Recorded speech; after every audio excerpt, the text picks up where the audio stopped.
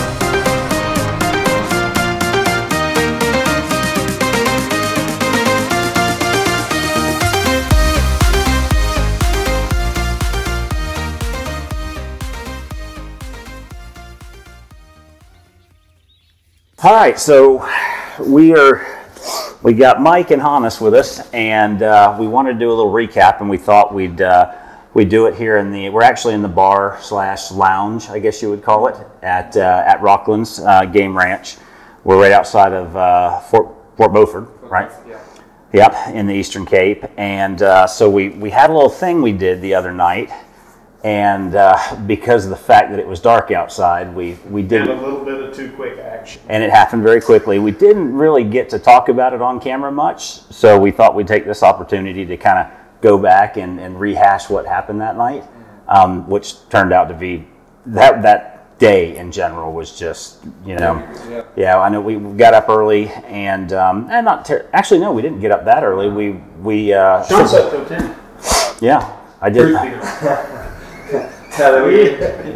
nine thirty ish maybe yeah, so we, we left here and uh, we, we headed to uh, Port Alfred and uh, ended up uh, taking that, what everybody's telling me now is a massive Oribi. So we're going to have to have to take a quick look at him. Uh, from there, we went back to the same farm that we shot the blue duiker the, the first morning, the, the pineapple farm. And uh, we had a couple animals on our list. We had a uh, grysbok, a common duiker, and a bushbuck for Mike Yeah.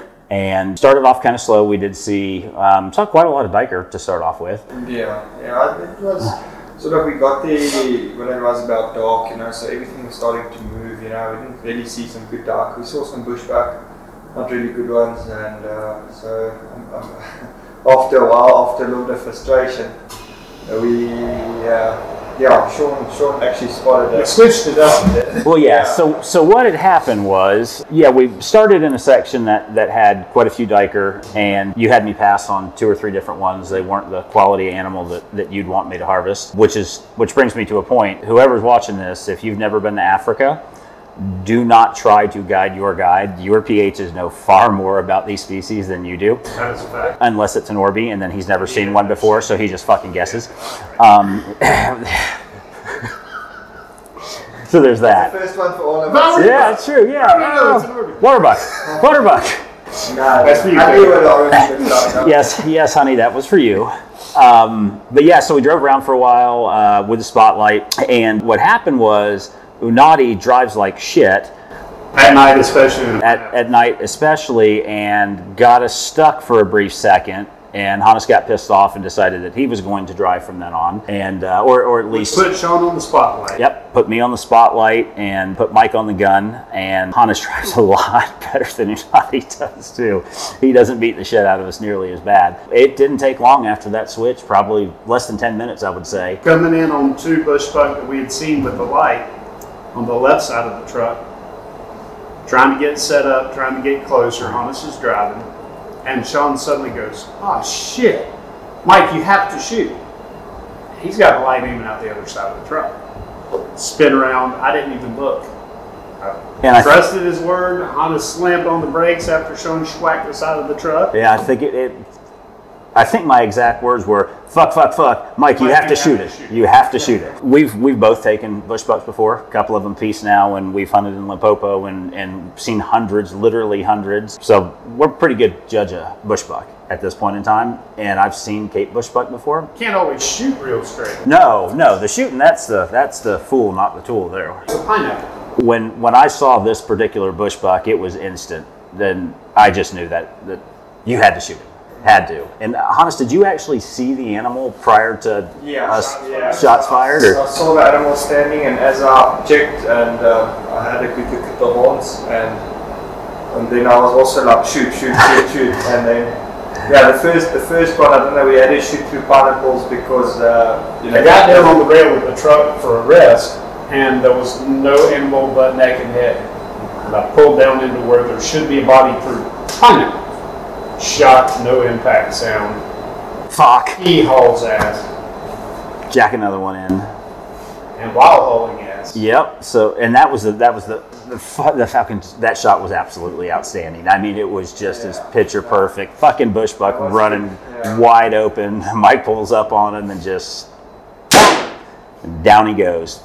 Perfect shot. when yeah when bushbucks start running, they don't often stop until they're in, in the bush, and um, we try to whistle and all kinds of stuff. yeah, y'all barking at him. You I saying, get- "Hey, cow!" yeah, I gave, I gave him the old hey cow. Yep. That didn't work. Yeah, Merp, they him. Didn't. Merped him, that yeah, sure did. didn't work.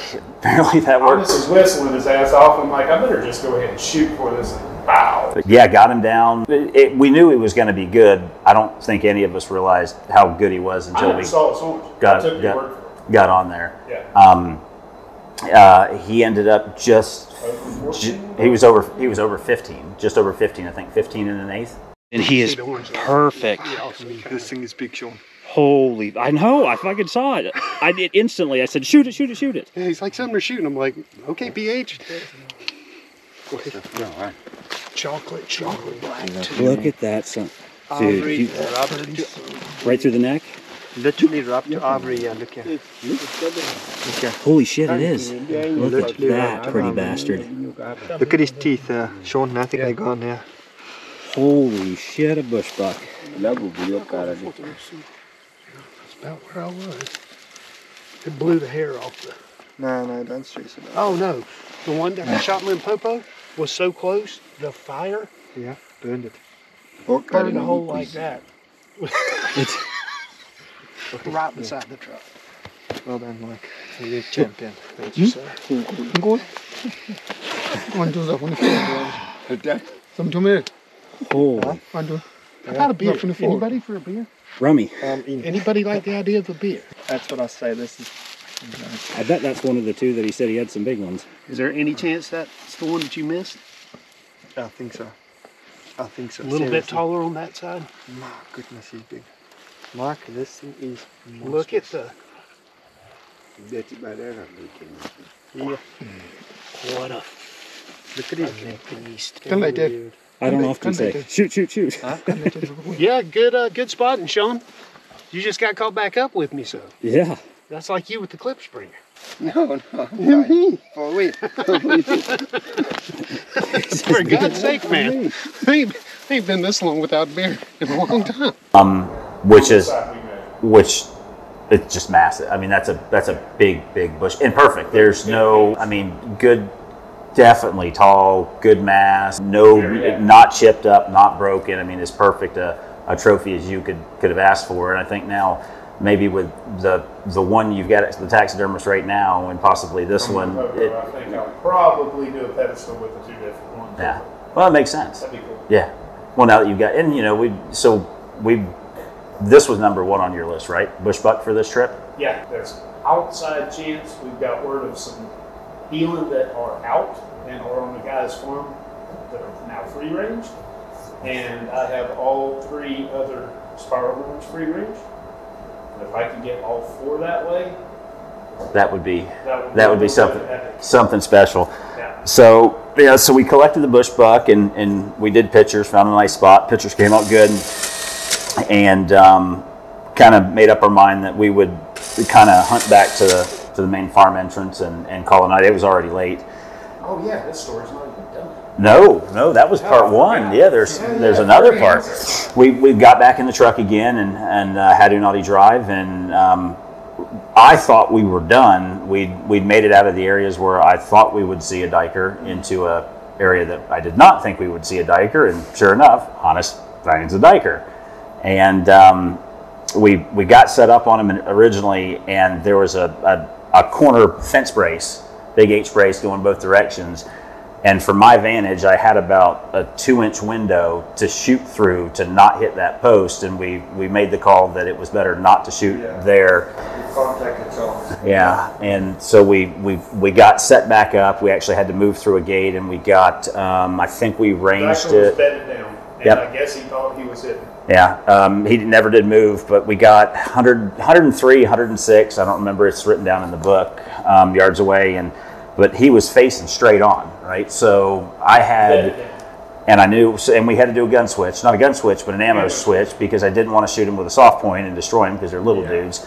And The way- yeah, the way he was lying, if you had to shoot him there, you would have definitely had some damage on the skin. So that's why we used the solids. And, uh, Yeah. It was a very tight shot the way he was lying, so it's facing us, his head was up, but we only had a little bit from below the nose up to the yeah, there was there was a small, small yeah spot like that Yeah. a little just over that white patch and had to had to settle it in there. So we got that uh, just got settled in. I mean, he he I swear he never he just didn't think he knew we were there, but he didn't think we saw him. Yeah. And so we had time and, and got set up and got um, got calmed down a little bit, and I touched it off, and he never moved. It was just just you hear that thud and perfect, yeah. And I don't know, did we ever find the entry hole?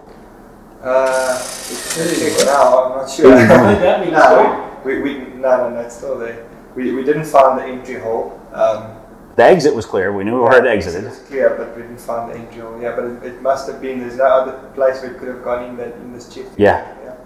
Got down, got some pictures of it, and then then drove the uh, you know the two and a half hours ish back after a pit. maybe a little less. After Oh, well, we had a, we had to have a pit stop where our pH decided that we should drink coffee at one in the morning, and we thought that was a bad idea on account of we had rum and Castle Lite in the truck. And yeah, yeah. We're trying to teach him. He's learning though. He picks it up quickly. He al- Good young man. already has not run you out of beer since day one. So he he has got that. one to a T. And I don't know if you noticed, but there's also a jug of rum in there now too on standby. also So, in play. right, yeah. So rule number three, but had really good weather. Um, I mean, where I'm in short sleeves. It was a little chilly this morning when the wind blew, but I've not been here before when it's when it's been green, and I think the hunting because of the foliage is a little bit more difficult. It makes it harder to, to spot the animals, but But it's earlier in the season, so they've had less pressure. that's the other thing, and they're rutting. Yeah. pretty much everything's rutting. Where I mean, we've seen uh, where you know I still don't have a trophy warthog. We've, I've killed a few already, a few out of a helicopter, and a, one in a hole with a Benelli shotgun. But I don't have a, a proper pig yet. So our goal, I think, uh, we'll probably pack up here shortly and head out and see if we can't find a warthog, and then. So yeah, so far so good. We're we're not even halfway through the trip yet. We've had super luck. If if for me personally, if our trip ended today, um, I would cry like a bitch. but I would be happy because we got those, you know, we got those three animals, uh, and and especially the Oribi. I didn't realize ahead of time. I knew the the blue duiker was going to be a very hard hunt, and it's it's sketchy. But to get the Oribi permit was I didn't realize that they only issued that few. So um, yeah. I think I think getting the Oribi permit is almost as difficult as just shooting a blue duiker. Right. It's, it's like you have to know the right people, and y- you know it's you, Ten a out of is ten permits, which comes out in a year, to get one of those is it's something special, you know. And then harvesting such a, a big one is just uh, you know everyone that we see and we talk about that sees the pictures just like wow that thing's huge, it's massive, it's I can't believe we got such a nice one. It's just it's just very special, you know, and uh, even the blue duiker too. You know, Yeah. it's very very special animals. Those little ones. And Don't know if he's Yeah. yeah. good, but it's good horn. yeah, I'm, I'm, that will probably cut into the segment somehow. We'll probably we'll, we'll, we'll cut that in there. Don't let that little bastard get away. Fucking fantastic. Unintentional. Yeah, but uh, so today's our last day at Rocklands. Rocklands is, unfortunately, it's my favorite place out of all the concessions. I like it here. Yeah, it's uh, this place. Um, it's just it, it's smaller, it's quaint, it's a different type of setting. Um, it's it's certainly more rustic, I think. But that's part the of first two days, were the only three people here. yeah, which makes it nice. And I, I think both of our wives, this is also their favorite place out of all the places they've been to. So Rocklands holds a special place in my heart, anyway. Great host and Yeah. Yeah. Um, and for me, this is where I killed my kudu and also where Mike killed his kudu. So coming back is a little nostalgic, and especially with, with Carl here. Yeah. Yeah, at the same Carl, time, kudu showed Carl here scene. and drank some number eights with us the other night. So it was, uh, it's been, man, like I said, it's been a great trip so far. I just, I, To be continued.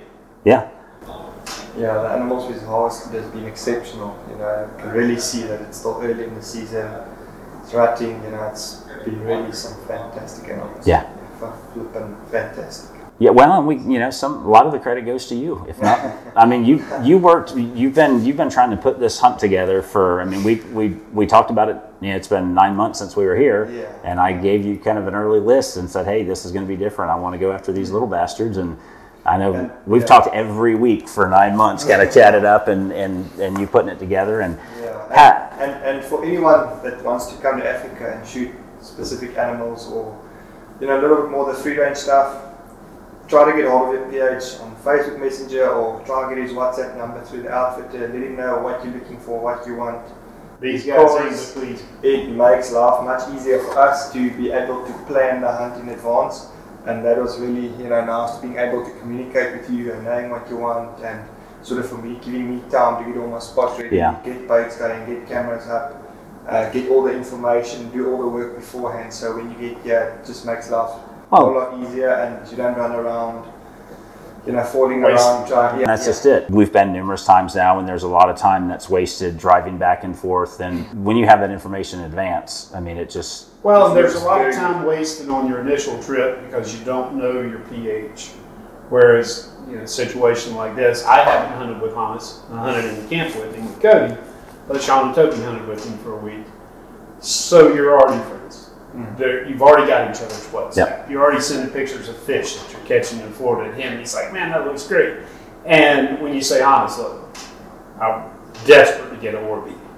He figures out how to get one of 10 permits in the entire East Cape for Yeah. the year. yeah, it's like hitting the lottery. And his contacts do that, you Yeah. know. So it's and these guys all work together. You know, Grant, we gotta gotta throw a shout out to Grant. He Yeah. helped mightily with that Yeah. permit, and I guarantee you, in the future, when Grant needs something, Yeah. Honestly, Yeah, it works. up. Yeah, it works both ways. And um, going to be a link in the description um, to the Huntershill website. I'm also going to leave your Instagram and Facebook on there and your WhatsApp. Yeah. So if anybody has questions, you know, I've talked to a ton of people. They reach out, people, just random people see stuff and they reach out to me and ask about Africa and they see our post and they see some of the video that we're putting out there. You know, reach out to me. I'll gladly put you in touch with Hannes or any of the other guys here. They're all fantastic. And and you know, plan your hunt in advance. You know, the more information you give your PH, the the more not only success you're going to have, but the more comfortable the trip is going to be too.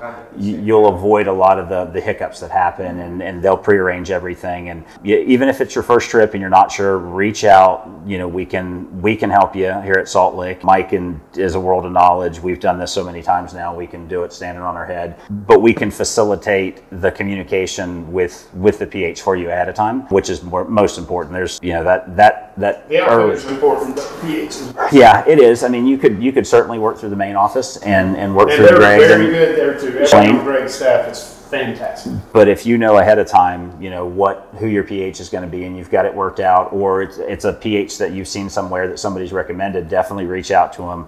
They'll get the specifics. They'll set it up. They'll make it happen. You know, it's it just makes life so much easier.